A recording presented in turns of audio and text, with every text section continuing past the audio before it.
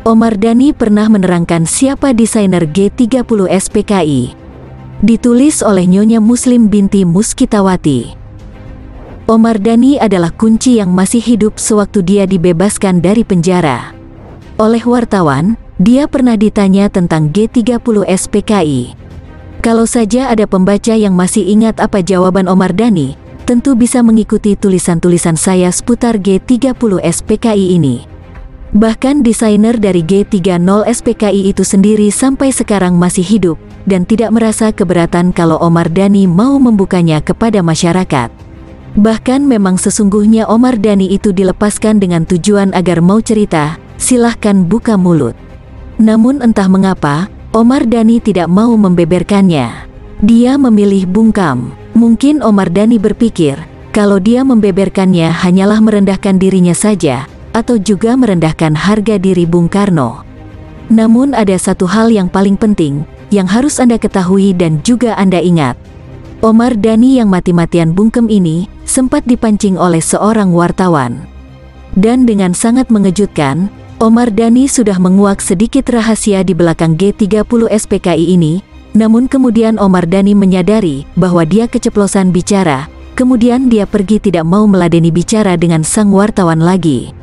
Sang wartawan memancing Omar Dhani. Pertama sang wartawan bertanya, bagaimana perasaan dia dilepaskan dari penjara? Pak Omar Dhani menjawab, tentu saya senang bisa bebas. Lalu sang wartawan bertanya lagi, Apakah Bapak dendam kepada Pak Harto yang telah memenjarakan Bapak? Omar Dhani tertawa ngakak, katanya, apanya yang harus saya berdendam kepada Pak Harto?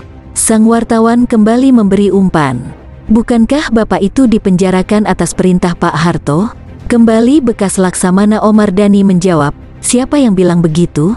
Sang wartawan menjawab, wah, itu Han sudah menjadi berita luas yang menganggapnya begitu. Omar Dhani hanya tertawa. Kamu tanyalah kepada Pak Harto, begitu enggak?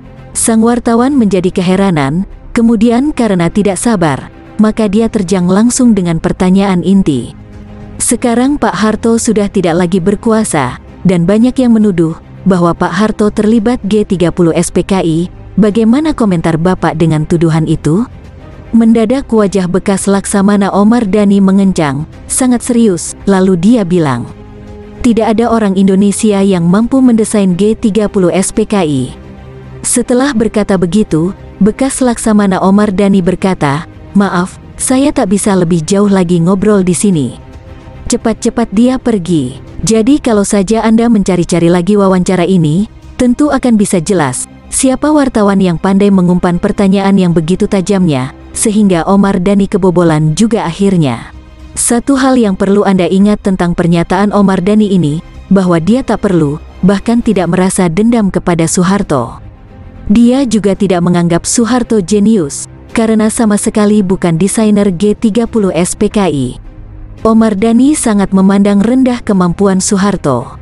Dan yang paling puncak pentingnya dari ucapan Omar Dhani adalah cuma satu, bahwa tidak ada satupun orang Indonesia yang mampu mendesain G30 SPKI. Dan berdasarkan anggapan Omar Dhani, Soeharto hanyalah dipaksa untuk mengambil alih kekuasaan Bung Karno, sehingga Jenderal Soeharto seolah-olah melakukan kudeta terhadap Soekarno. Yang lebih mengagetkan lagi, ternyata surat perintah tanggal 11 Maret ternyata tidak pernah ada. Andai kata memang Soeharto merupakan pelaku G30 SPKI, apa sih susahnya membuat surat perintah tanggal 11 Maret yang palsu yang seolah-olah ditanda tangani oleh Soekarno? Memang bukanlah tidak mungkin bahwa surat palsunya pernah dibuat, namun kemudian dimusnahkannya sendiri, karena Soeharto pada hakikatnya juga punya nurani dan tidak mau menentang perasaannya sendiri.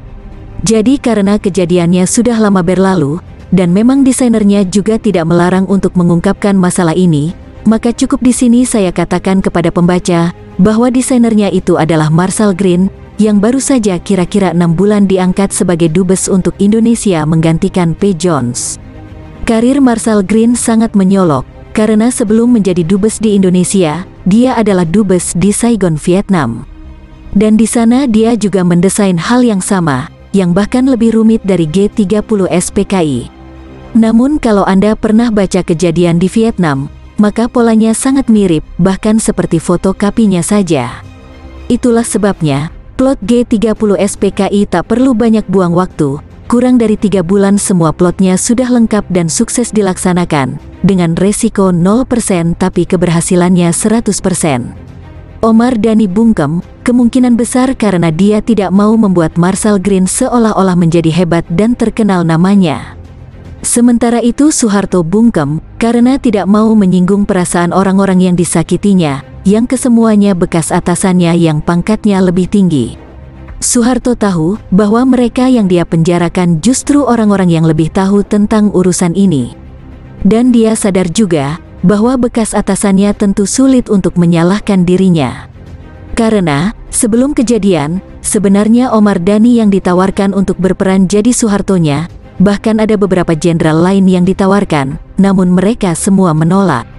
Akhirnya Soeharto lah yang terpilih, tanpa Soeharto sendiri tahu kalau dia diplot seperti itu.